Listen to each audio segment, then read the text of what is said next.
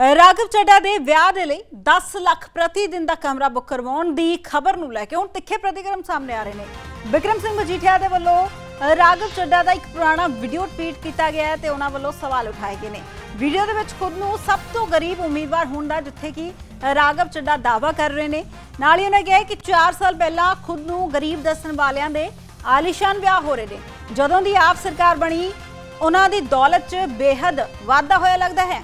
ਦੂਜੇ ਪਾਸੇ, ਸਾਬਕਾ ਕੇਂਦਰੀ ਮੰਤਰੀ ਹਰਸਿਮਰਤ ਕੌਰ ਬਾਦਲ ਦੇ ਵੱਲੋਂ ਵੀ ਰਾਘਵ ਚੱਡਾ ਦੇ ਆਲੀਸ਼ਾਨ ਵਿਆਹ ਸਮਾਗਮ ਤੇ ਸਰਕਾਰ ਨੂੰ ਘੇਰਿਆ ਗਿਆ ਹੈ। ਪੰਜਾਬ ਸਰਕਾਰ ਨੂੰ ਘੇਰਦੇ ਹੋ ਨਜ਼ਰ ਆਏ। ਨਾਲ ਹੀ ਭਾਜਪਾ ਆਗੂ ਤਜਿੰਦਰ ਬੱਗਾ ਨੇ ਵੀ ਚੱਡਾ ਦੀ 2020-21 ਦੀ ਟੈਕਸ ਰਿਟਰਨ ਟਵੀਟ ਕਰਕੇ ਸਵਾਲ ਉਠਾਏ। ਇੱਕ ਅੰਗਰੇਜ਼ੀ ਚੈਨਲ ਨੇ ਉਦੈਪੁਰ ਦੇ ਹੋਟਲ ਦੇ ਵਿੱਚ ਹੋ ਰਹੇ ਵਿਆਹ ਦੇ ਵਿੱਚ 10 ਲੱਖ ਦੇ ਕਮਰੇ ਦੀ ਬੁਕਿੰਗ ਦਾ ਦਾਅਵਾ ਕੀਤਾ ਹੈ। ਸੋ ਕਿਸ ਤਰ੍ਹਾਂ ਇਹ ਪੂਰੀ ਤਸਵੀਰ ਹੈ, ਸਿਆਸਤ ਦੀ ਪੱਖੀ ਹੈ, ਰਿਪੋਰਟ ਵੇਖਦੇ ਹਾਂ ਦੇਸ਼ ਦੇ ਸਭ ਤੋਂ ਮਹਿੰਗੇ ਹੋਟਲਾਂ ਵਿੱਚ ਸ਼ੁਮਾਰ ਹੈ।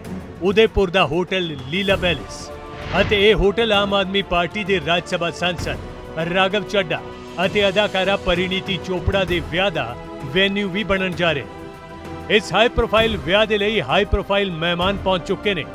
ਇੱਕ ਅਖਬਾਰ ਦੇ ਦਾਅਵੇ ਮੁਤਾਬਿਕ ਇਸ ਹੋਟਲ ਦੇ ਮਹਾਰਾਜਾ ਸੂਟ ਦਾ ਇੱਕ ਦਿਨ ਦਾ ਕਿਰਾਇਆ 10 ਲੱਖ ਰੁਪਏ ਹੈ, ਜੋ ਕਿ ਰਾਘਵ ਚੱਡਾ ਅਤੇ ਪਰਿਣੀਤੀ ਚੋਪੜਾ ਦੇ ਲਈ ਬੁੱਕ ਕੀਤਾ ਗਿਆ ਹੈ।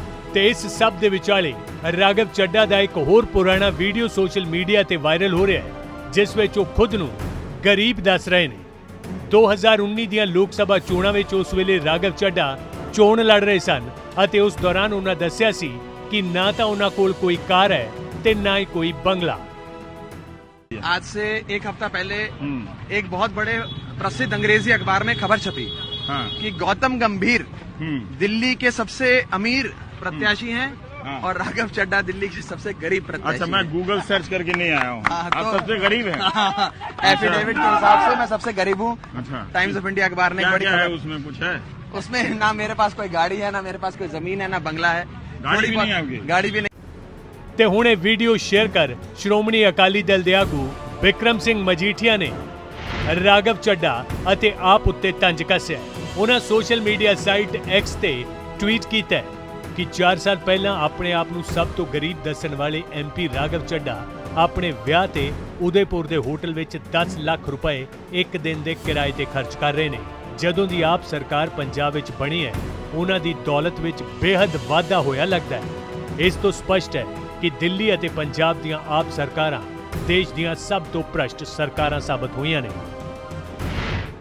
ਉਧਰ ਭਾਜਪਾ ਆਗੂ ਤੇਜਿੰਦਰਪਾਲ ਬੱਗਾ ਨੇ ਵੀ ਸੋਸ਼ਲ ਮੀਡੀਆ ਸਾਈਟ ਐਕਸ ਤੇ ਇੱਕ ਫੋਟੋ ਸ਼ੇਅਰ ਕਰ ਦਾਅਵਾ ਕੀਤਾ ਹੈ ਕਿ ਰਾਘਵ ਚੱਡਾ ਨੇ ਸਾਲ 2020-21 ਵਿੱਚ ਇਨਕਮ ਟੈਕਸ ਰਿਟਰਨ ਭਰਨ ਵੇਲੇ ਆਪਣੀ ਸਾਲਾਨਾ ਆਮਦਨ ਮਹਿਜ਼ 244600 ਰੁਪਏ ਦੱਸੀ ਹੈ, ਜਦਕਿ ਹੁਣ ਉਹ 10 ਲੱਖ ਰੁਪਏ ਕਿਰਾਏ ਵਾਲਾ ਕਮਰਾ ਲੈ ਕੇ ਆਲੀਸ਼ਾਨ ਵਿਆਹ ਕਰ ਰਹੇ ਨੇ।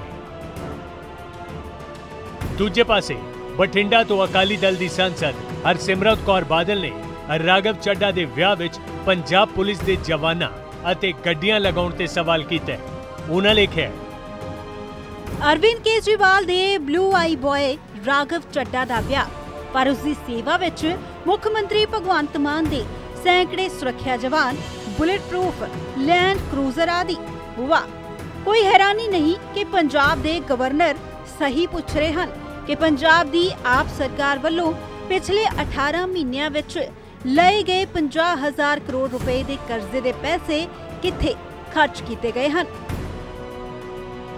ਕੱਲ ਦੀ ਸੋਸ਼ਲ ਮੀਡੀਆ ਤੇ ਵਾਇਰਲ ਵੀਡੀਓ ਜਿਹੜੀਆਂ ਹੈਗੀਆਂ, ਮੇਰੇ ਖਿਆਲ ਉਹ ਪਹਿਲਾਂ ਵਿਸ਼ਾ ਬਣੀਆਂ।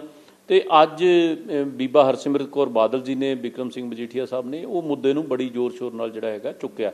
ਉਹਦੇ ਪਿੱਛੇ ਕਾਰਨ ਨੇ ਕਿ ਜਿਸ ਕਿਸਮ ਦਾ ਲੈਂਡ ਕਰੂਜ਼ਰ ਗੱਡੀਆਂ ਜਿਹੜੀਆਂ ਹੈਗੀਆਂ, ਉਹ ਉਦੈਪੁਰ ਦੇ ਵਿੱਚ ਵੇਖੀਆਂ ਗਈਆਂ, ਪੰਜਾਬ ਪੁਲਿਸ ਦੀਆਂ ਵੱਡੀਆਂ ਫੌਜਾਂ ਦੇਖੀਆਂ ਗਈਆਂ ਉਹ ਸਾਰਾ ਕੁਝ ਇਹ ਬਿਆਨ ਕਰਦਾ ਹੈ ਕਿ ਇਹ ਇਹ ਕੋਈ ਸਰਕਾਰੀ ਫੰਕਸ਼ਨ ਹੈ ਕਿ ਨਿੱਜੀ ਵਿਆਹ ਹੈ। ਇਸ ਕਰਕੇ ਚਰਚਾ ਦਾ ਵਿਸ਼ਾ ਬਣਿਆ ਹੋਇਆ ਔਰ ਚਰਚਾ ਦਾ ਵਿਸ਼ਾ ਬਣਨ ਦਾ ਕਾਰਨ ਉਹ ਵੀਡੀਓ ਵੀ ਬਣ ਗਈ ਜਿਹਦੇ ਚ ਰਾਘਵ ਚੱਡਾ ਸਾਹਿਬ ਖੁਦ ਬੋਲਦੇ ਆ ਕਿ ਮੈਂ ਤਾਂ ਸਭ ਤੋਂ ਗਰੀਬ ਉਮੀਦਵਾਰ ਹਾਂ। ਆਈਟੀਆਰ ਦੀ ਵੀ ਲੋਕ ਕੱਢੀ ਫਿਰਦੇ ਆ ਕਿ 10 ਲੱਖ ਭਰੀ ਸੀ।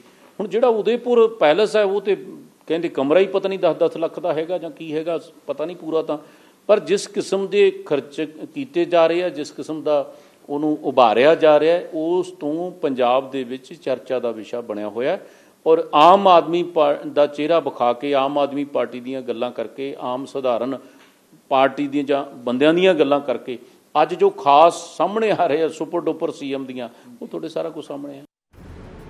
ਵਿਰੋਧੀ ਪਹਿਲਾਂ ਵੀ ਸੀਐਮ ਭਗਵੰਤ ਮਾਨ ਉੱਤੇ ਪੰਜਾਬ ਦਾ ਪੈਸਾ ਅਰਵਿੰਦ ਕੇਜਰੀਵਾਲ ਦੀ ਸੇਵਾ ਵਿੱਚ ਲਗਾਉਣ ਦੇ ਇਲਜ਼ਾਮ ਲਗਾਉਂਦੇ ਰਹੇ ਨੇ।